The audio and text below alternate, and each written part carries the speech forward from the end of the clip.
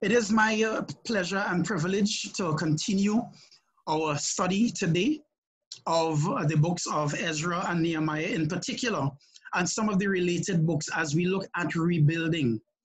Uh, this morning, um, I'm going to continue from where uh, Nino left off on Wednesday, and I'll take us to, well, from just by way of recap, the end of Ezra chapter 4 into Ezra chapter 5. And then we'll jump into a book of the Bible that if you are scrolling, turning your pages too quickly, you may go past it. It's such a short book in the Old Testament. We'll get to it shortly, but please bow your heads with me as we pray. Our great Father in heaven, we come to you at this time acknowledging your holiness, your majesty, your glory. Father, we want to honor you with our lives. We want to honor you with the meditations of our hearts. And so we pray that today you would be with us. Fill us with your spirit, empower us with uh, just a sense of humility and awe as we think about your glory. Father, please be with me today that I may be your instrument. Help me to communicate clearly, powerfully, and with humility. Help our Bible study to enrich us all and to draw us ever so closer to you, that you may be honored and you may be pleased. It's in Jesus' name that we pray. Amen.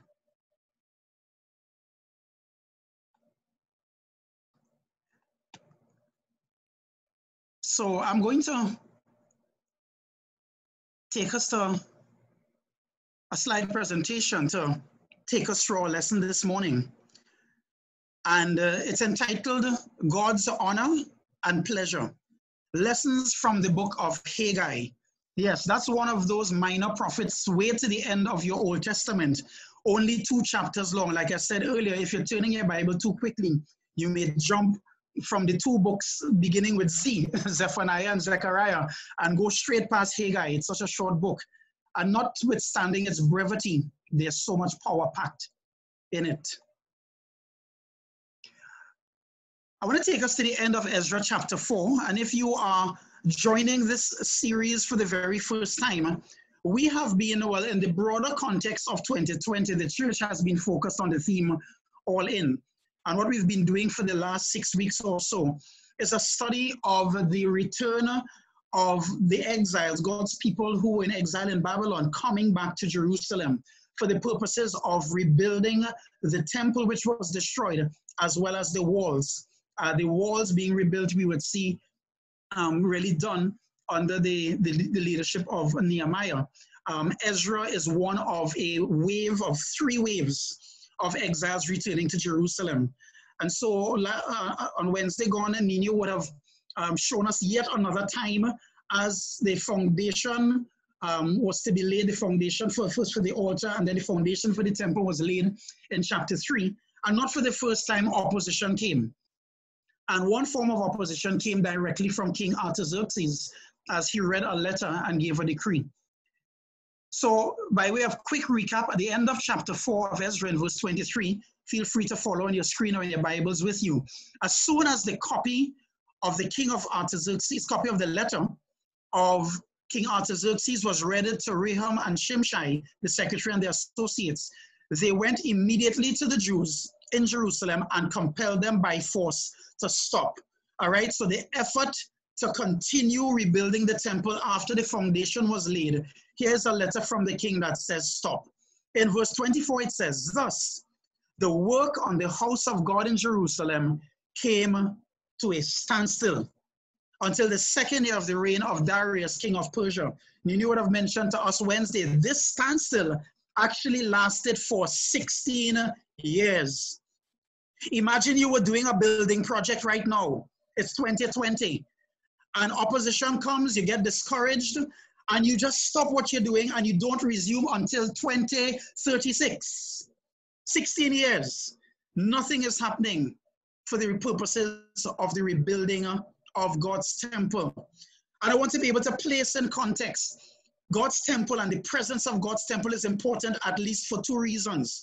Number one, the temple symbolized the presence of God. And so no temple really was signifying, man, we, we don't really have the, the confirmation of God's presence with us. The second significance of the temple was this was the place for sacrifices to God, the opportunity to make atonement for sin. The absence of a temple really removes that avenue for the forgiveness of sin. no temple is a serious time in Israel's history. No presence of God, no forgiveness of sin. All right, through this, the temple sacrifices. And so I want for us to be able to understand that the lack of temple being there really was of major significance from a spiritual perspective. Follow with me as we move to Ezra chapter 5 and verse 1. Now Haggai the prophet and Zechariah the prophet, a descendant of Iddo, prophesied to the Jews in Judah and Jerusalem in the name of the God of Israel who was over them. Brothers and sisters and friends, I am stopping at Ezra chapter 5, verse 1 for you to understand that after this, the, the standstill, the work on the temple had stopped, God intervened using the voices of two prophets, Haggai and Zechariah. If you've never read Haggai and Zechariah before, now is a good time to do it during the course of the week. Because you now get some context as to why these two Old Testament books, all right, why they're there. The timing of the prophecies of Haggai and Zechariah was during the, the, the period when the temple was stopped in terms of its rebuilding. So exactly what did Haggai have to say? This is where I want to take us this morning. Haggai chapter 1, verse 1.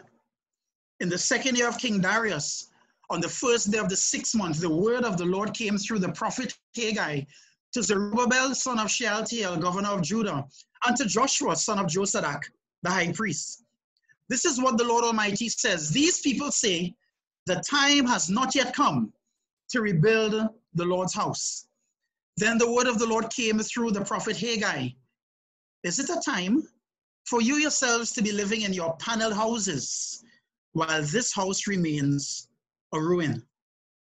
Now, this is what the Lord Almighty says Give careful thought to your ways.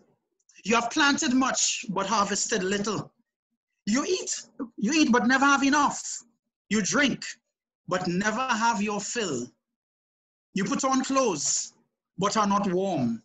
You earn wages only to put them in a purse with holes in it. This is what the Lord Almighty says. Give careful thought to your ways. Brothers and sisters and friends, this was the message of Haggai to the people of Israel as they stopped rebuilding the temple. And what Haggai was able to say to them, this is God's messenger. And God says, Look, and let me go back to this. He says, Is it a time for you yourselves to be living in your panel houses while this house remains a ruin? So even though they stopped the building due to the discouragement and the opposition, they started to take care of themselves. And here Haggai talks about them living in their panel houses, suggesting maybe a certain level of opulence, a certain level of, of wealth. And so God, through his messenger, says, Is this a time for you to be taking care of yourself when my house remains in ruin? And the challenge is a very piercing one, not only in verse 5, but also in verse 7. Through Haggai, God says, Give careful thought to your ways. And he said, Look, look at what you're doing. You are making efforts to advance yourself, but it's failing. You drink but never have your fill. You planted but you have harvested little. You eat but you never have enough. You put on clothes, you're not warm. You earn wages only to put them in a purse with holes in it. It does not last. And God was trying to show them, you know, you you you put my agenda aside to take care of yourself.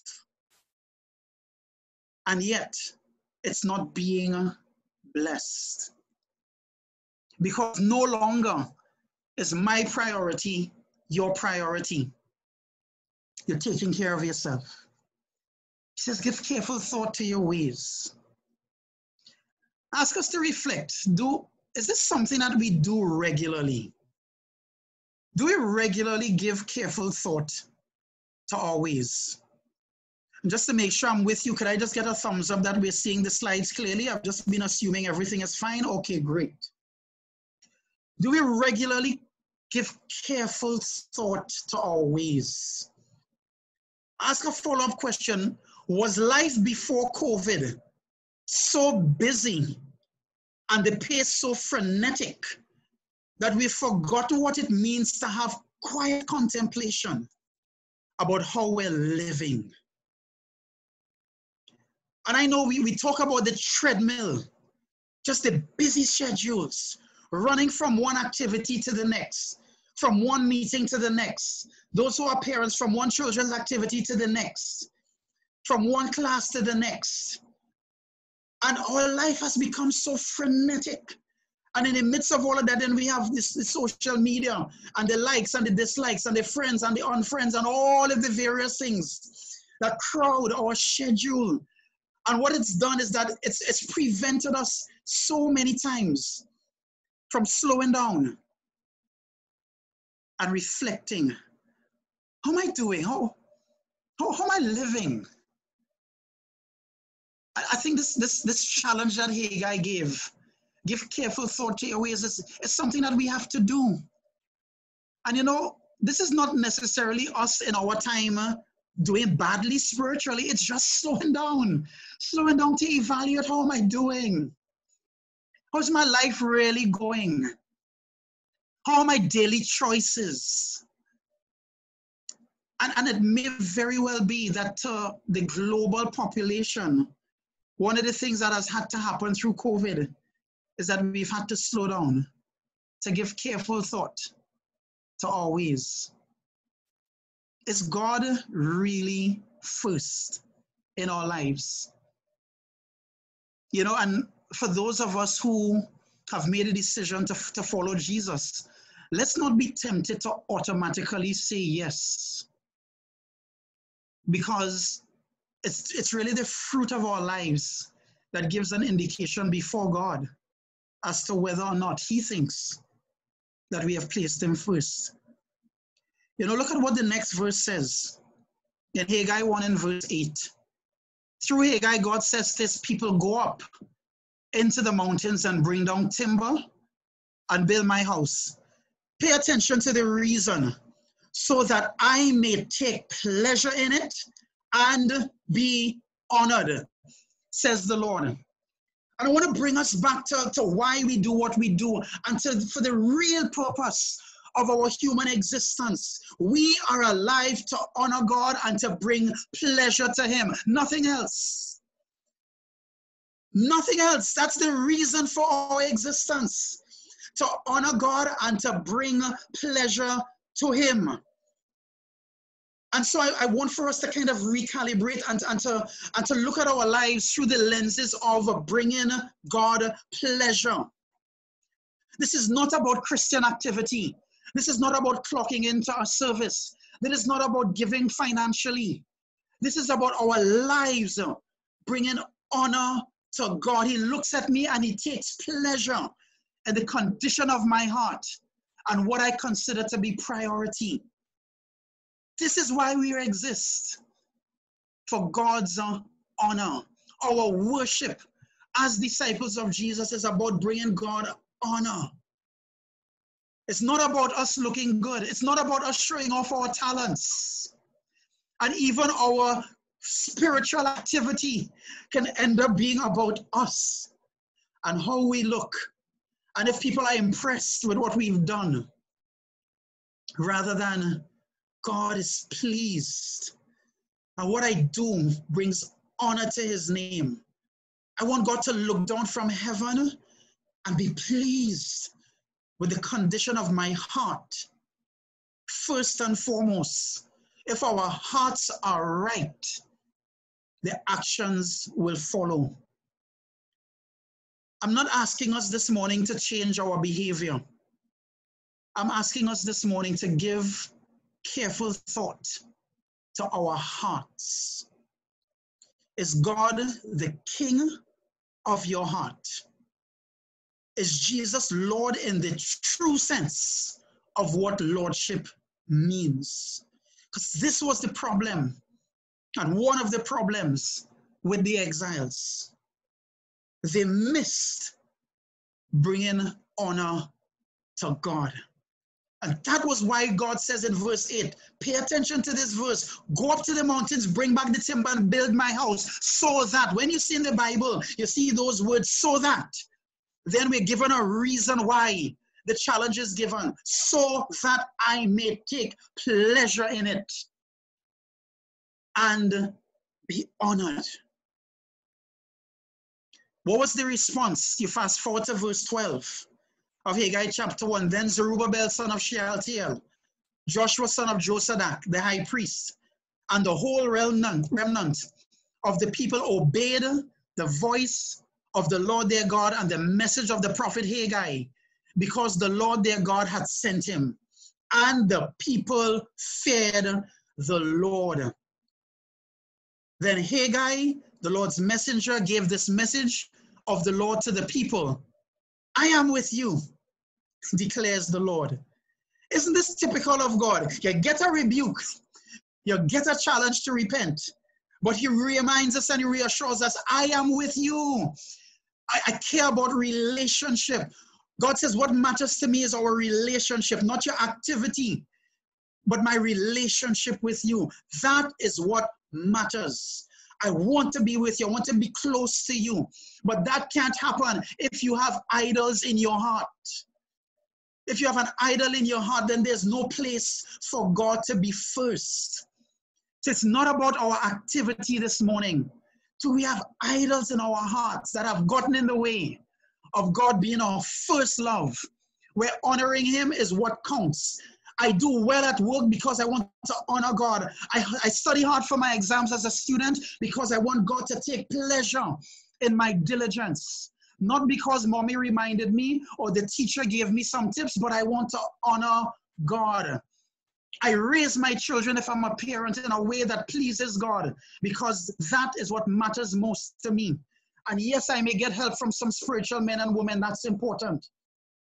But it's all about walking closely with God and pleasing Him. See, the response was, was amazing. The people saw that the message came from God. Haggai was just the messenger. And it says the whole remnant, they were all in. They were all in. The whole remnant obeyed the voice of God. And it says the people feared him. The people feared God, and that came about through preaching. Do not underestimate the power of God's word to change your heart.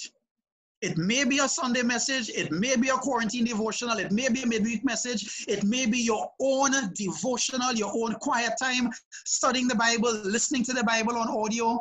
Whatever form the Word of God comes in, do not underestimate its power to change your heart and make you bow down before God and revere Him. That is what the people responded to. And when we go back to Ezra in chapter 5, verse 2, so I stopped at verse 1, I went to Haggai, now I'm back in Ezra, and I'm only stopping at verse 2 in Ezra. Then Zerubbabel, son of Shealtiel, and Joshua, son of Josadak, set to work to rebuild the house of God in Jerusalem. And the prophets of God were with them, supporting them. Guys, you see what happened? Haggai preached, the work started back after 16 years. The word of God. Look at the sequence. I've done this little chart for you to follow. The work came to a halt. Haggai and Zechariah preached the word. We'll go back to Haggai again Wednesday, God willing. Couple of after Mother's Day, we'll, you know, we'll pause for Mother's Day. After Mother's Day, we'll come back, take a look at a couple of passages from Zechariah to get the context. But after the work stopped, Haggai and Zechariah preached, and the work started back. Brothers, sisters, friends, if ever we get sluggish in our spiritual lives, interact with God's word. Spend time in the scriptures. Yes, go to the men and women who are close to you, your mentoring times, your discipleship times, your one another times. Have those times, but go to God first. Consult His word. So by the time you get to those those one another times, you're able to share, look, this is what I studied I want to share with you. Are there any other passages you can share to help me through the situation? Interact first with God's word. If you don't know how to read the Bible, there's a lot of help available to be able to show you how to read, how to understand. The word of God was preached, the hearts were moved. How do you respond to God's word? Here's a great challenge from the final chapter of the book of Isaiah. This is what the Lord says Heaven is my throne and earth is my footstool. Where is the house you will build for me? Where will my resting place be? God is just too big, even for humans to contain him. Even the temple would just have been just a representation of God's presence. Has not my hand made all these things? And so they came into being, declares the Lord. These are the ones I look on with favor. Pay attention to this.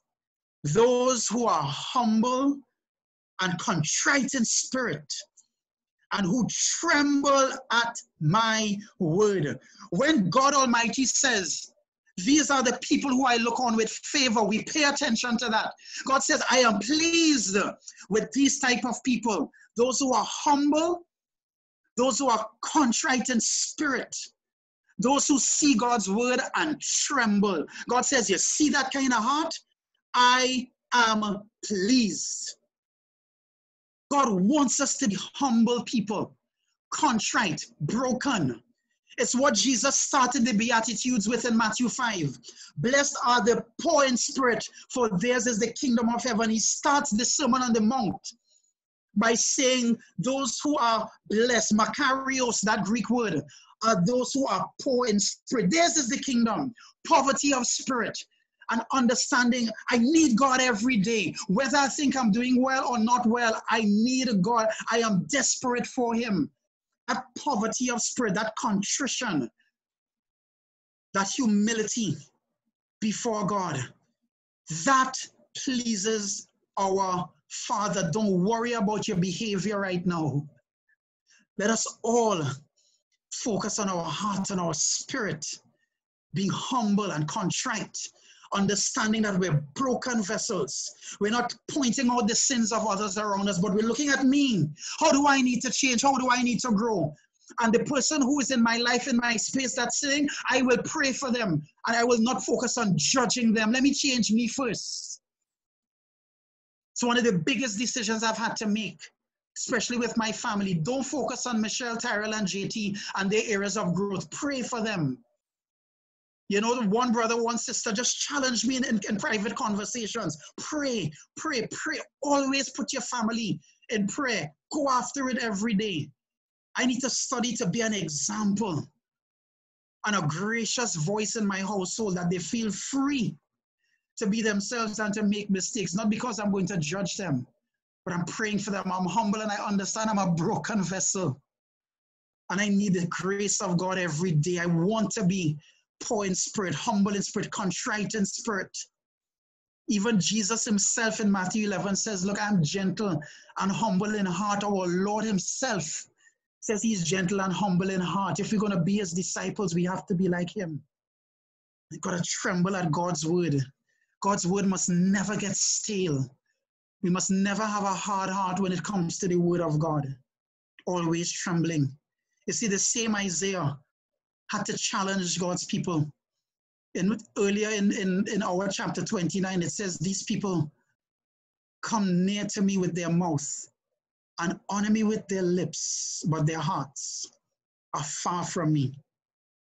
Jesus quotes this in Matthew 7, in, in uh, Mark 7 and Matthew 15, quotes this very passage, looking at the fact that, man, boy, religious people, sometimes we can be the ones who are furthest from God. We get steeped in our religious traditions. We don't even realize the traditions that we have. And we're thinking, hey, boy, we're close to God. I do this every day. I do this every week. I do this every month. And Jesus could say, but you're saying all of the right things, but your heart isn't close to me. You know, how, how are we really doing today? You know, be, before COVID, before we were forced to slow down, where was God's agenda in your life? And I ask the question if life returns to quote unquote normal and your schedule gets busy again, are we going to be like the people at Haggai prophesied against and said, you know what? God's kingdom is not being built up, but we're taking care of ourselves. Long hours doing whatever it is of self interest, advancing our own lives. And advancing our lives has its place, but it cannot be to the detriment of God's agenda. Because what COVID has done, it has made us aware of our mortality and it has brought us face to face with the reality of death. We gotta have hearts that are close to God. I end this morning by reciting a poem that I heard during the course of this week. I was participating in an online seminar. Just one of the most beautiful pieces of literary work I've seen in a long time, done by a PhD student of theology by the name of Sarah Bonds. And some of you may have received it, um, you know, during the course of the last couple of days. If you haven't, follow along with me if you have. Just reflect on these words again. Sarah Bonds writes, and it's a poem called Exposed. We've all been exposed, not necessarily to the virus, though maybe, who knows? We've all been exposed by the virus. Corona is exposing us, exposing our weak sides, exposing our dark sides, exposing what normally lies far beneath the surface of our souls, hidden by the invisible masks we wear, now exposed by the paper masks we can't hide far enough behind. Corona is exposing our addiction to comfort, our obsession with control, our compulsion to hoard, our protection of self. Corona is peeling back our layers, tearing down our walls, revealing our illusions, leveling our best laid plans. Corona is exposing the gods we worship, our health, our hurry, our sense of security, our favorite lives, lies, our secret lusts, our misplaced trust. Corona is calling into question, calling everything into question. What is the church without a building? What is my worth without an income? How do we plan without certainty? How do we love despite risk?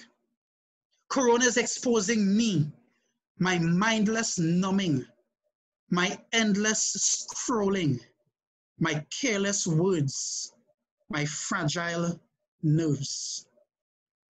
We've all been exposed. Our junk laid bare, our fears made known, the band-aid torn, the masquerade done. So what now? What's left? Clean hands, clear eyes, tender hearts. What Corona reveals, God can heal. Come, Lord Jesus, have mercy on us. Let's pray.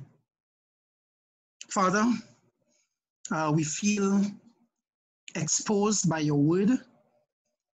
Uh, we feel challenged by uh, the message of Ezra, Haggai, Isaiah, and we we thank you for uh, just reminding us that your agenda always comes first. Father, we pray for your forgiveness.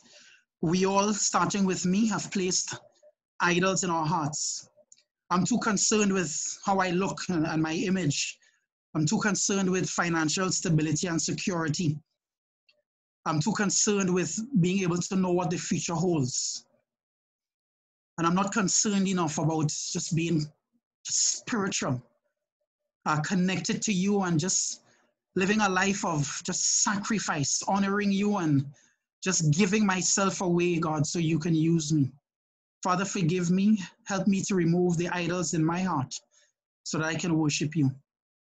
I pray for us wherever we may at today, wherever we may be at in our journey, in uh, our walk with you, that you show us your grace, uh, you remind us, God, of how deep and wide your grace is, and you remind us that you are with us.